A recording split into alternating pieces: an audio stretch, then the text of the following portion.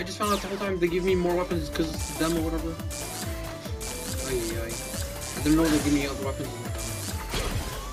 Whoa, and trying it out killed me. Jesus. Oh my god.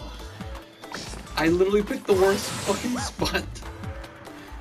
Oh my god, that was fucking stupid. Ay, ay.